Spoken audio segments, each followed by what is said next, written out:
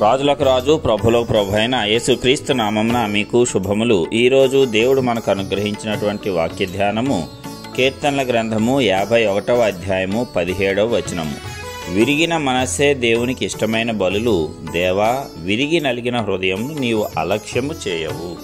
దేవునికి ఇష్టమైనది ఏమిటి అనగా విరిగినటువంటి మనస్సు అనేది దేవునికి ఇష్టమైనటువంటి బలియాగంగా ఇక్కడ భక్తుడు మనకు తెలియజేస్తున్నాడు. ఎందుకంటే దేవుడు మనము అర్పించేటువంటి అర్పణలను కానీ బలులను కానీ లక్ష్య పెట్టడం లేదు కానీ మన యొక్క అంతరంగంలో నిజమైన మార్పును కోరుకుంటున్నాడు. అదే ఆయనకు ఇష్టము. అంతే తప్ప నీవు పాపివైనందున నీవు ఏదో దేవునికి కొన్ని కోట్లు విరాళం ఇచ్చేస్తేనో లేకపోతే ఏదైనా మంచి పనులు చేసేస్తేనో దేవుడు సంతోషించడు కానీ నిజముగా నీ యొక్క మనస్సు మారి మారు మనస్సు పొంది రూపాంతరము చెంది నీవు నీతి పరిశుద్ధమైన జీవితాన్ని జీవించటానికి సిద్ధపాటు కలిగిన మనస్సాక్షిని కలిగి ఉంటే అది దేవునికి ఎంతో ఇష్టము. అలాంటి దానిని దేవుడు ఇష్టపడతాడు. ఎందుకంటే ఒక వ్యక్తి తను చేసినటువంటి తప్పును తెలుసుకొని పశ్చాత్తాపపడటము అనేది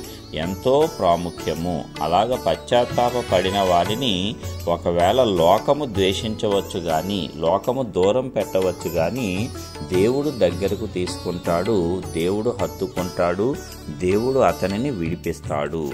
ఇక్కడ మనస్సు విరగటము అంటే మనస్సాక్షి అనేది మార్పు చెందటము కఠిన హృదయము అనేది మారి సున్నితత్వాన్ని నీ యొక్క హృదయం సంతరించుకోవటము. ఇక్కడ మనం చెప్పుకోవచ్చు. ఆ రీతిగా విరిగినటువంటి మనస్సు అనేదే దేవునికి ఇష్టము. అంతే తప్ప మనము అర్పించే కానుకలు కానీ అర్పణలు కానీ వేరే విధమైన బలులు ఏవి కూడా దేవునికి ఇష్టము కాదంట. మరి మనలో అనేక మంది ఏదో ఒక బలులు అర్పిస్తూ ఉంటారు. అయితే వాటి వల్ల మన యొక్క పాపాలు అనేవి పోవు. కానీ దేవుని ఎదుట మన యొక్క పాపములు ఒప్పుకొని పశ్చాత్తాపడి ఆయన యొక్క రక్తంలో మన పాపములు గనక కడుగుకుంటే తప్పనిసరిగా మన మనస్సుకు విశ్రాంతి అనేది దొరుకుతుంది.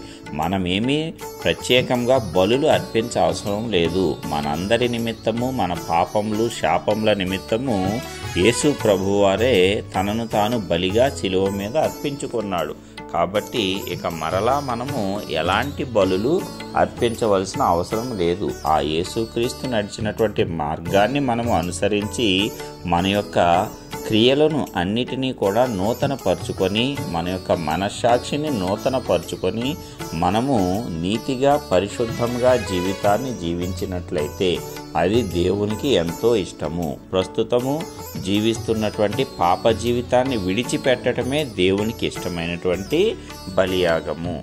ఎప్పుడైతే విరిగి నలిగిన హృదయముతో నీవు దేవుని యొద్దకు వస్తావో దేవుడు నిన్ను ఆదరిస్తాడు. దేవుడు నిన్ను విడిపిస్తాడు దేవుడు నిన్ను రక్షిస్తాడు నీ ఆత్మకు రక్షణ అనేది కలుగుతుంది. ఎందుకంటే ఒకవేళ నీ తప్పులు గనక ప్రజల ముందు జనుల ముందు ఒప్పుకుంటే తప్పనిసరిగా వారు ఇంకా నిన్ను హింసిస్తారు దూషిస్తారు నిన్ను కృంగ చేసేలాగా మాట్లాడతారు. అయితే నీవు అదే తప్పులు పాపములు దేవుని ఎదుట గనక ఒప్పుకున్నట్లయితే ఆయన నిన్ను ఆదరిస్తాడు నిన్ను ఓదారుస్తాడు. తప్పనిసరిగా నీ పాపములన్నిటినీ తుడిచివేసి నిన్ను తన రక్తం ద్వారా కడిగి పరిశుద్ధునిగా చేస్తాడు. నీవు ఆయన రక్తం ద్వారా నీతిగాను పరిశుద్ధంగాను మార్చబడతావు. అది దేవుని యొద్ద ఉన్నటువంటి గొప్ప వాత్సల్యత.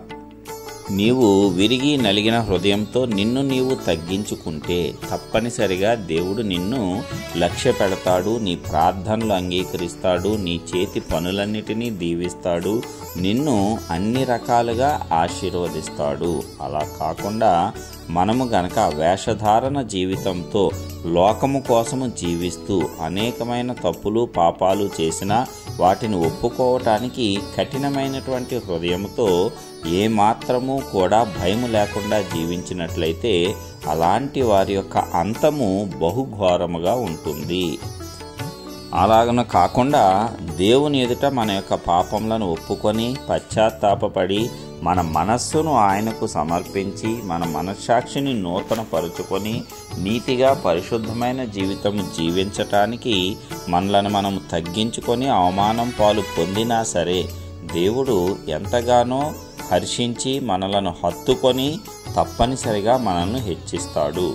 ప్రస్తుతము మన యొక్క పరిస్థితి అవమానకరంగా ఉన్నా సరే ఆయన అవమానాలన్నిటినీ కూడా కొట్టివేసి ఘనతలుగా మారుస్తాడు. కాబట్టి ప్రియులారా దేవునికి ఇష్టమైనదేమిటో వాక్యం ద్వారా భక్తుడు మనకు తెలియజేశాడు. కాబట్టి మనం మారినటువంటి మనస్సు మనస్సాక్షి మాత్రమే దేవునికి ఇష్టమైనది.